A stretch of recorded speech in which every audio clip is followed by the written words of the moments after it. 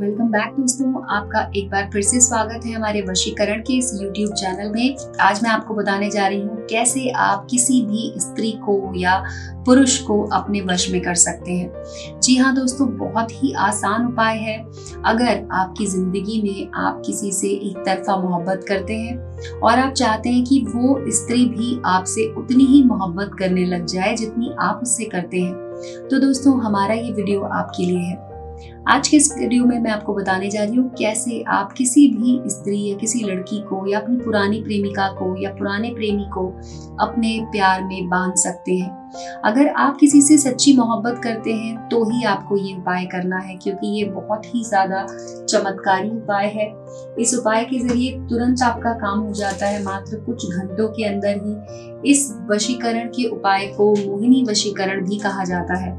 जी हाँ दोस्तों, बिल्कुल सही सुना आपने मोहिनी वशीकरण, जो कि बहुत सालों से लोग इस्तेमाल कर रहे हैं किसी को भी अपने वश में करने के लिए।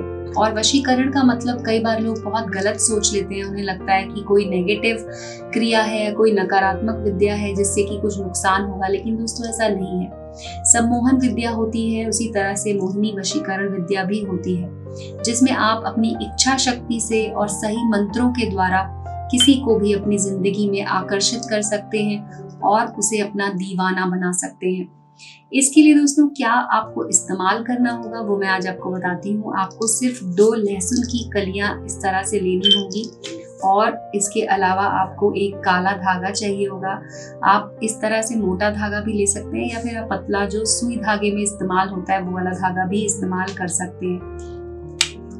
तो दोस्तों किसी भी पेन की सहायता से, चाहे मोटा मार्कर हो या फिर पतला पेन हो, आप इस्तेमाल कर सकते हैं। आपको लहसुन के ऊपर लिखना है ओम। एक लहसुन के ऊपर आपको इस तरह से ओम लिखना है और उसके बाद ओम वाले लहसुन पर आपको अपनी प्रेमिका का नाम लिखना है। आपकी प्रेमिका का नाम जो भी हो, आप उसे इस तरह से उस पर लिख दीजिए। मैं यहाँ पर पूजा लिख रही हूँ। एक लसन पर आपको इस तरह से लिख देना है। दूसरे लसन पर आपको बनाना है एक स्वास्तिक का चिन्ह। इस तरह से ये आप देख सकते हैं। और उसके बाद आपको लिखना है अपना नाम। मैंने लड़के का नाम यहाँ पर नवीन लिखा है। इस तरह से आप लिख लीजिए।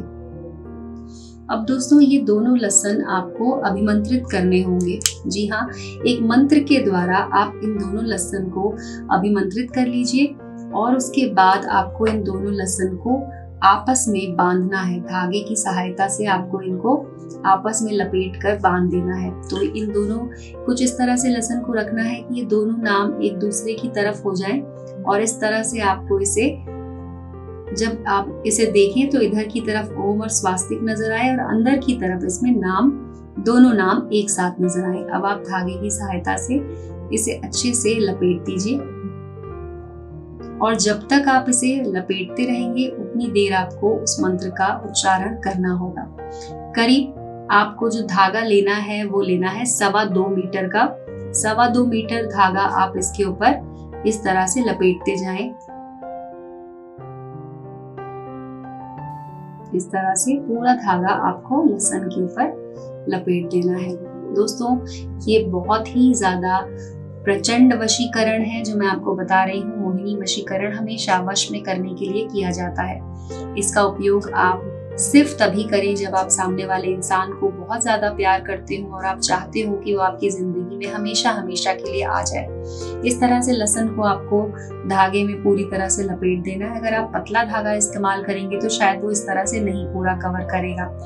अब आपको क्या करना है? इस लसन को आपको ले जाना है और अपने घर की किसी ऐसे कोने में छुपा देना है जहाँ पर इसे कोई भी ना देखे।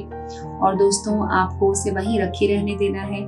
लेकिन आप जब इस क्रिया को करेंगे, उसके मात्र कुछ घंटों के बाद ही उस लड़की का आपके पास कॉल आएगा या फिर वो आपके घर पे ही खुद आ जाएगी और आपसे मिलने के लिए वो तड़प उठेगी।